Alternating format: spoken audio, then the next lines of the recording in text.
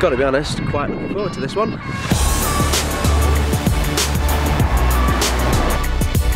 Back at the Keepmoat for one final game this decade. Sunderland in town to take on the Rovers. And Rovers are playing in the third kit today. It's uh, the green kit, the one that looks very similar to the one from that game at Brentford.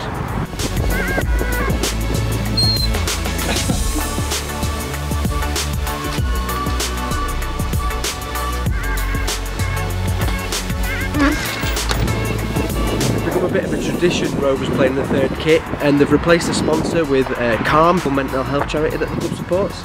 I know players are quite superstitious about playing in third kits and things like that um, but I put it out on Twitter this morning and the statisticians on there reckon that we've won four and drawn two when we played in the third kit so if you believe in all that the uh, bode well for a result today.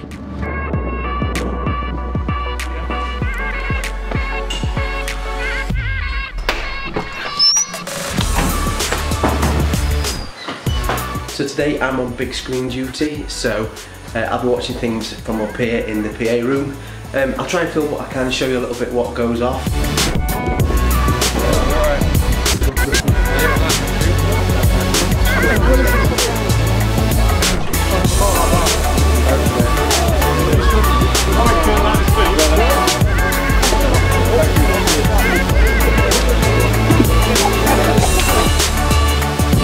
Rovers coming to this then on the back of a Boxing Day 3-0 win at Peterborough with Sadders and that absolute screamer of a goal.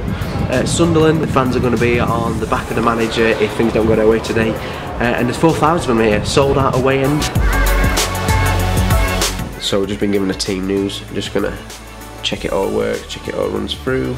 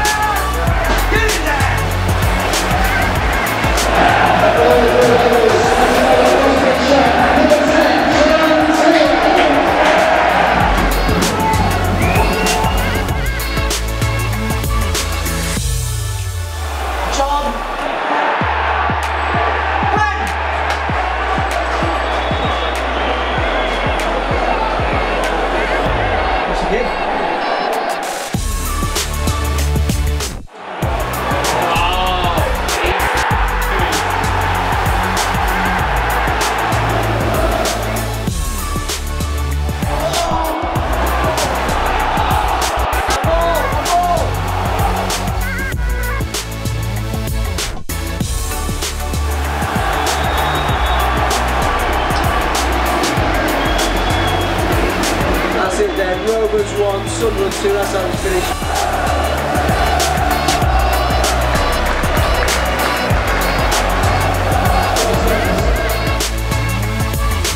Today was um, was two two different styles and it was a battle. It was a real fight today by the boys and you know we had to be stand stand up and counter for them.